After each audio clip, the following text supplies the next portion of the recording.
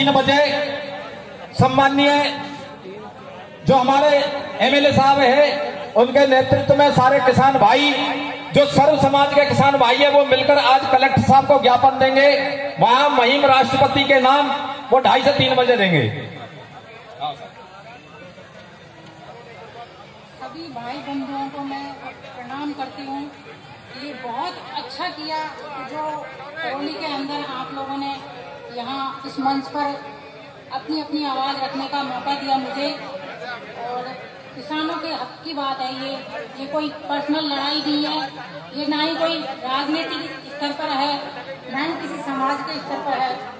ये एकता की लड़ाई है, किसान की लड़ाई है। और किसान होंगे तो हम सब होंगे। किसानों के हक के लिए हमें हर तरह का प्रयास करना है। और सभी, ये मत, ये नहीं भाई आप लोग ही अपने घर की बहू बेटियों को भी लो। अगर ऐसा पड़ा तो मैं खुद आगे चल करके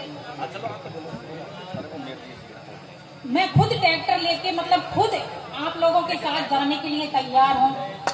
इस देश की बेटी भी कोई कम नहीं है, जो आप लोगों के हक के लिए खड़ी है। और जो भी सरकार हमारे हित में कानून बनाए हैं, उस कानून को हमें बिल्कुल खत्म करना है। हमें सिर्फ़ हमें आज़ादी चाहिए आज़ादी चाहिए जय किसान, जय जवान। देखिए बंधु, महिलाएँ भी किसी से पीछे नहीं है। इन्होंने ये कहा है कि जिस तरीके से आप सात पुरुष चलेंगे, उनके साथ में महिलाएँ भी कंधे से कंधा मिलाकर, जहाँ कहीं चलेगा ट्रैक्टर से पैदल मार्च, जैसे भी चलेगा मैं चलने को तैयार हूँ। और इसका जीता जागता उदाहरण है